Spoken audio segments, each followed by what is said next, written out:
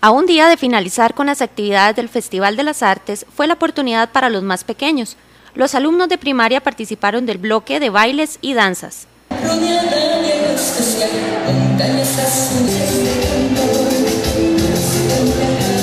La Escuela La Arenilla fue una de las primeras en presentarse con su danza folclórica costarricense.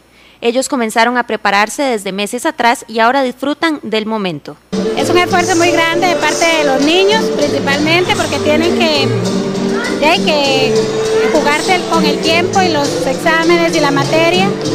Y, y los padres de familia que son un apoyo muy grande porque cuesta mucho lograr todo, el traje, el tiempo, la, todo, transporte para acá, todo es mucho trabajo, pero vale la pena porque han hecho un papel muy bonito este año.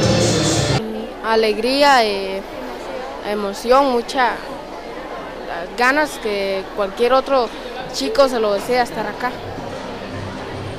La paz y divertirnos, disfrutar con nuestros compañeros. Mireya Leiva, madre de una de las niñas, se enorgullece del fruto del trabajo de muchos días de sacrificio. Ah, mucho orgullo, eh, mucho sacrificio, pero mucha alegría. Le encanta mucho el baile y la veo realizada bailando y, vale la pena porque es, es mucha la emoción que uno siente, mucha alegría. Además aprovechó para aplaudir la iniciativa del Ministerio de Educación. Bueno, para mí es una felicidad y es muy bueno porque se explota todo el talento de los niños.